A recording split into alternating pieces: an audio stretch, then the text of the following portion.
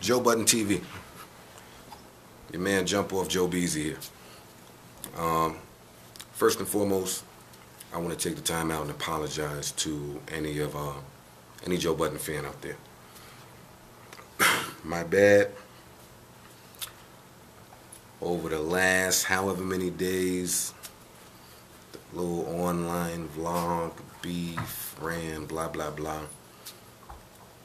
Sooner or later, you got to take a step back and really just look at the situation and analyze it and really think about it for anybody who has sense. And you got to say, is the risk worth the reward? So now you're talking about a guy who who the highlight of his bio is I beefed with Joe Budden. You don't believe me? Google it. Wikipedia, go find this guy's bio. A lot of y'all never even heard of this guy before. So it's like the last video that this guy did, the guy where the guy's going up to the door, he's smacking somebody. All it does is tell me that well, all it does is confirm something that I already knew. Some of y'all didn't know. This guy is obviously more concerned with his image than his well-being. Do I think that the shit is tough? Do I think that the nigga was hardcore or gangster for doing that? no. If anything, the shit just proves what I've been saying all along. The nigga's a fag and he's a pussy. Like, the nigga went to somebody's house. Not me, not anybody who put hands on him. And he had a conversation, a long one with somebody, and then had somebody come out the blue and smack him when you had 10 niggas with you. That's tough. That's that's hardcore gangster rap. To me, no. To me, it's faggot shit. But now, what happens next? See, niggas like to live for now. I like to always look further. What is to happen now? Now, you do that. I go retaliate. I respond. I show the world. I leak the footage from the other night. You then respond to the response. This is an ongoing thing.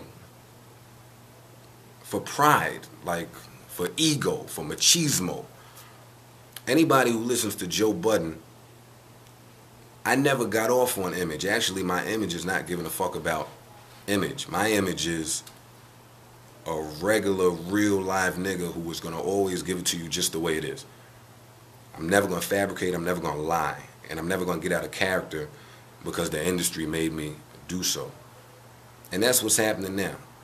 I'm getting out of character, got me going back to some old school mouth shit. For what? This guy's here, here, if you can see, and I'm like up there somewhere. And I don't say that as an insult, but I mean it's true. Fucking. So again, we go back to is the risk worth the reward? For me, no. I got mad shit going on. For him, yeah, it is kind of.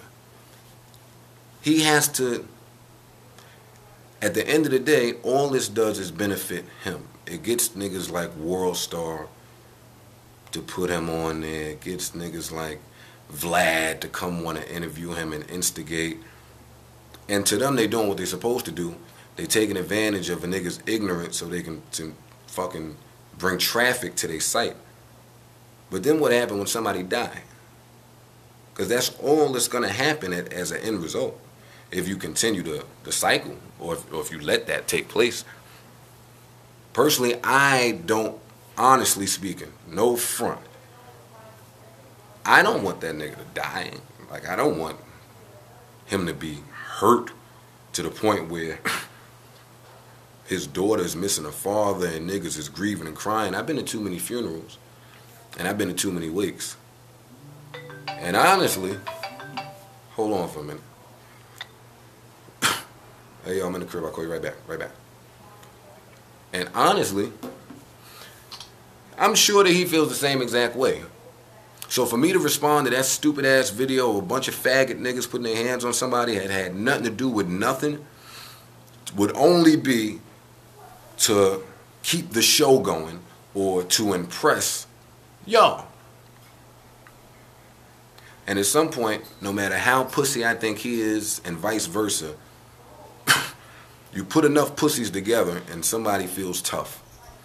Somebody, or you back a pussy in a corner and a nigga reacts out of being a pussy, being scared, really. So if the shit continues, the shit will then be beyond Joe Budden. It'll be beyond ransom. It will then begin to involve other niggas who really, really do this. Do niggas really want that? Me? No. so I'm gonna take the high road here. I seen the video. I could care less about it. I'm gonna ignore it.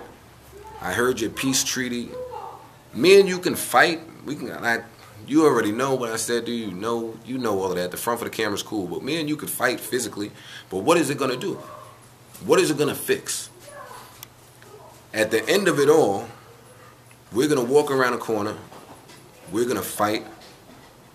I'm trained to beat niggas up like you.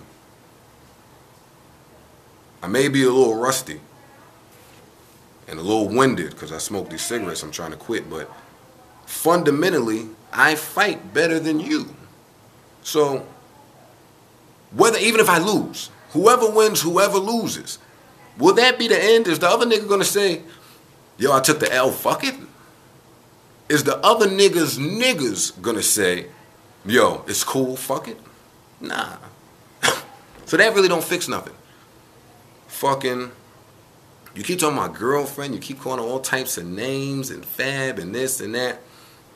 Has my girlfriend ever cheated on me with fab in five years? No. Does my girlfriend have a history? Yeah. Does she have a past? Yeah. A long, nasty, filthy, slutty one? No. No. That woman loves me probably more than anybody else in this universe, probably more than her herself, and you'd be lucky to find somebody like that. The shit bounces off of me like rubber when you talk about her. So at the end of the day, the beef shit is corny, man. That that whole New Jersey crabs in a bucket mentality, that attitude, that shit is over with. That shit is so 90s. Like niggas that rap in New Jersey now, me, myself included, if niggas ain't all about that one bond, that one tight movement where we can let the rest of the world know what New Jersey's about, Jersey City, Newark, everywhere, North Jersey, South Jersey, then you ain't really about nothing. And what I'm doing right now, I wouldn't be able to call myself the king of Jersey, be a, a, a leader, a role model, or any of that if I continue to contribute to this bullshit that this nigga's trying to make me. So I'm not. So, Rand, you win. You win for being stupider than me and for not having anything going on with you in your life that's important enough for you to really think about what you're doing. You win.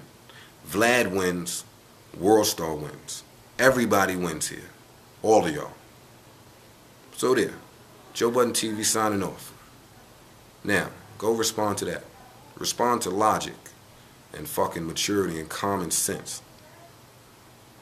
Proud of Kent. One.